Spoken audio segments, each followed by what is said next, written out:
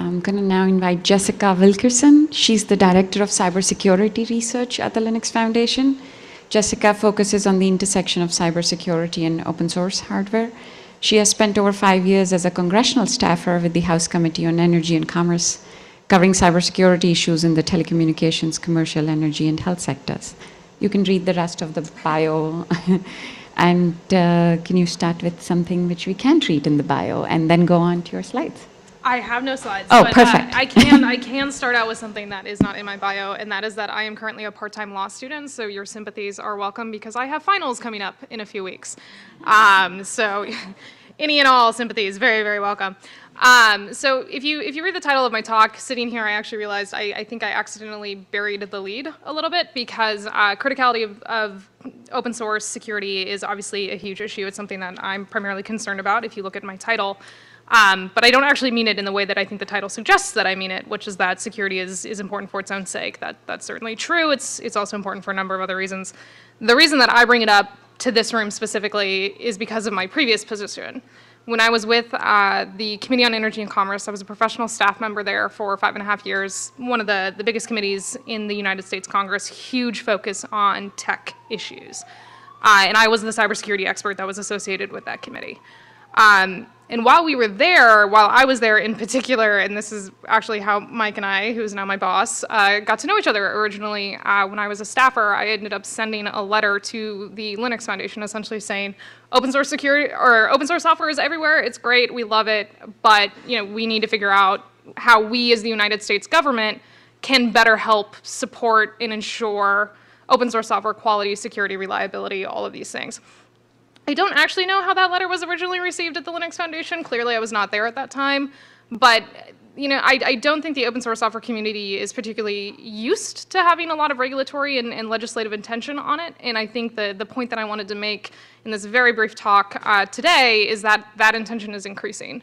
I am clearly not with the United States Congress anymore, but I was not the only person who was starting to look at this.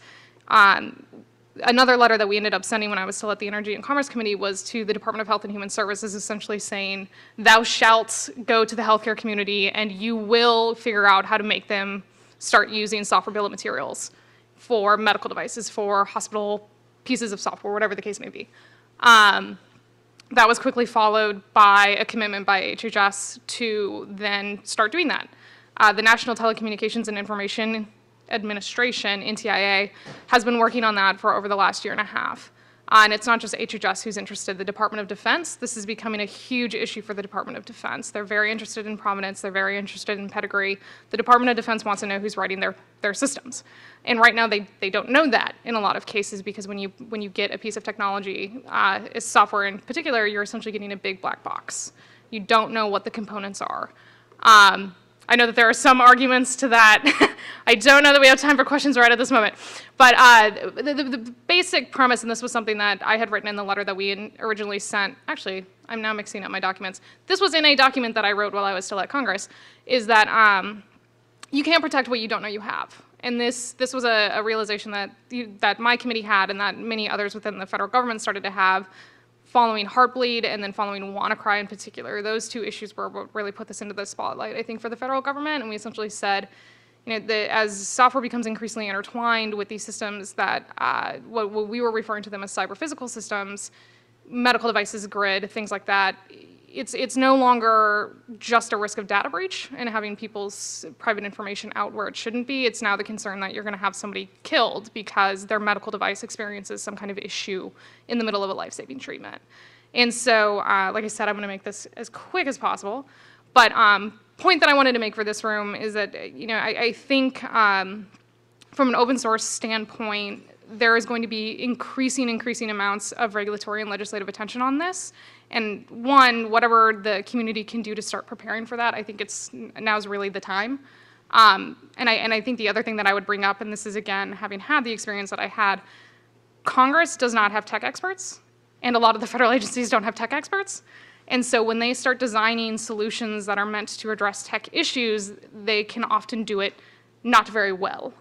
Uh, so one thing that I would recommend, um, and one thing that, that we that I am doing in my current position with uh, the Linux Foundation, if we can present the federal government with solutions that they can use, that is going to be much better than having the federal government impose solutions upon the community.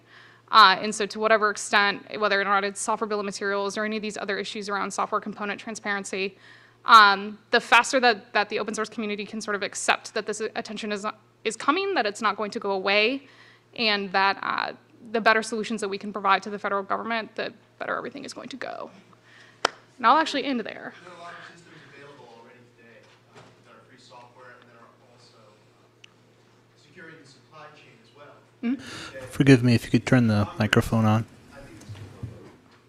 Sorry, I, I think that the, the the open source community has done a great deal of work already. To be honest, I think it's Congress that needs to catch up to our community. There's a lot of work done on the hardware level, on securing the software supply chain, on security, on reproducible builds, and on uh, licenses. So I, I think that part of the problem, quite frankly, is that uh, Congress has been captive to lobbying, and I, I think that's um, that that's where a lot of money is spent for regulatory capture. But I think that uh, significant investigation of the open source and free software community needs to be done by Congress. So, so this is, what- and I would completely agree. But what I would, I would warn is that Congress has the weight and the control over what they do that they don't have to. They can impose solutions without doing that, and they frankly will. And so that is where I would say, um, knowing knowing that this is happening, knowing those solutions, it would be far better for the community to proactively reach out to them to say, here are these prepackaged solutions. Everyone should talk to Kate Stewart about what's going on at the NTIA process if you are very interested in that. Um, but here are these prepracticed solutions. You don't need to come up with something, just use what's already there. But people are going to have to proactively give those to Congress. Congress is not going to come to the community, I would say. If we're just add Karen Copenhaver for Congress?